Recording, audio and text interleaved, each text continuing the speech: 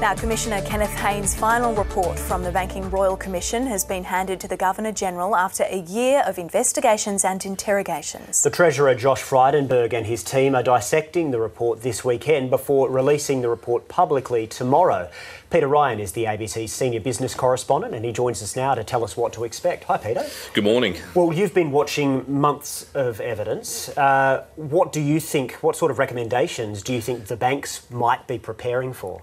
Well, it's hard to say because this is uh, one of the most tightly held secrets, uh, having been delivered by Kenneth Hayne uh, to the Governor General and then on to uh, the Treasurer Josh Frydenberg on Friday. Uh, the the final report will be released after the close of the share market tomorrow because of the obvious potential implications, a knee jerk reaction or shock to the uh, share market, in particular bank um, and insurance stocks.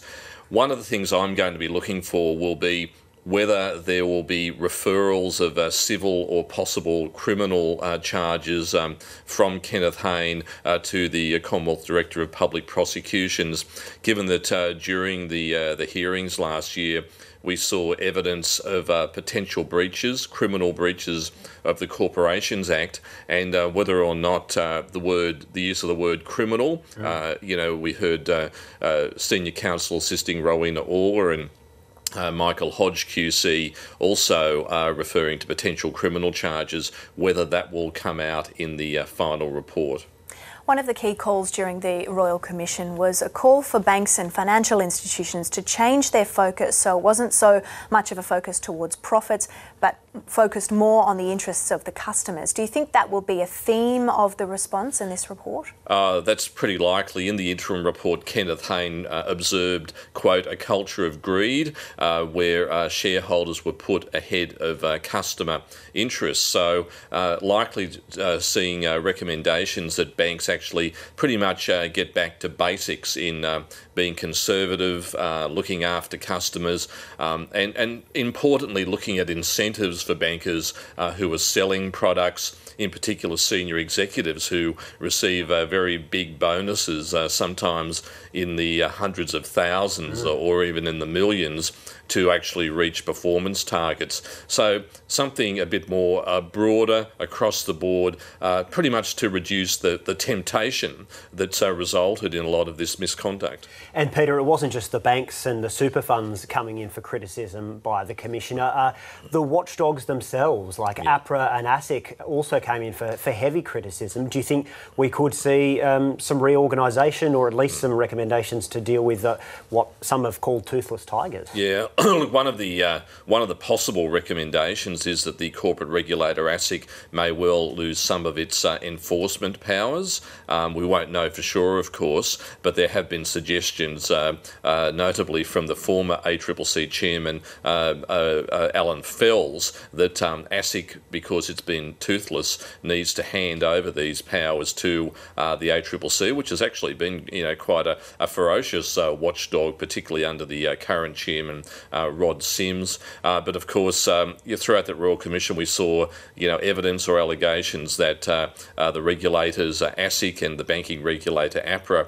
had potentially become captured by the industry, and rather than taking on you know tough prosecutions, making hard decisions, would often seek enforceable undertakings, which are interpreted as being a bit of a slap on the wrist. Uh, some companies, uh, banks or insurance companies, um, you know, making donations to charities charities, which of course is a good thing, uh, but sometimes those uh, level of those donations is a drop in the ocean when you consider the uh, the market value of banks uh, and also their uh, profitability.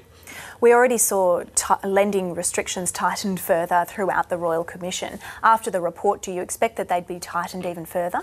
Well, uh, this has been one of the, the main pieces of fallout during the Royal Commission. And of course, because of the evidence, banks have been tightening up their own uh, lending. Um, and, uh, and that's been a good thing because uh, simply some people have been given loans or talked into taking out loans that they simply couldn't afford. And of course, uh, poor lending standards were a feature of uh, the causes of the global global financial mm. crisis a decade ago. The problem is that um, at the moment it's uh, it's easier for banks to say we're not going to take the risk of giving someone a loan. I've heard you know evidence of uh, contacts and friends who may well have had um, you know big deposits for homes, but to get pre-approval to, um, for a loan to buy a house, they're having to go through not just uh, stating income, but uh, getting right down to you know household items. Uh, yeah. And and the Reserve Banks come out and said you know banks need to keep lending even to the point where you need to take on risky loans where there might be a risk of default. And of course the problem with tighter uh, lending uh, restrictions and uh, coupled with uh, falling house prices in Sydney and Melbourne is that if uh, consumers aren't spending, that has an impact on the broader economy. Uh, so, with those tighter lending restrictions, falling house prices, people are seeing their perceived personal wealth um, evaporate in many ways, and that could, you know, really yeah. have a bigger impact on the economy. And speaking of personal wealth, a lot of people own shares in the banks, either directly or indirectly through their superannuation and that kind of thing. And they, uh, the shares in the banks have been smashed, haven't they? And presumably there, there might be more pain to come. There's been enormous, uh, you know, uh, wealth destruction in the banks, but also if you look at AMP, the wealth manager AMP, smashed, yeah. yeah. smashed, simply smashed, and uh, uh their results will be coming out, I think, the week after next. Um, we'll also be seeing uh, the half-year results from the Commonwealth Bank this coming week, so that will be one of the first opportunities where we have the big four responding. One, speaking of the banks, uh, yeah, I'm heading off uh, to Canberra for the lockup for the release of this final report uh, tomorrow. Uh, the banks themselves um, haven't been invited, so they're unhappy about that. Although other interest groups um, have been invited, such as uh, Choice, some of the other consumer groups, uh, to get a, get an insight so they can properly respond. So we may well see, you know, brief statements from the banks after the Royal Commission report is finally released released, um, but it's going to be difficult for banks uh, to respond until they actually get through this mm. document, which is going to be a couple of phone books. Uh, people remember what a phone book's like. That's right. Well, I'm sure we'll hear more from you tomorrow. All the best in the lockup. Peter Ryan, Thank thanks you. for coming thanks, in. Peter.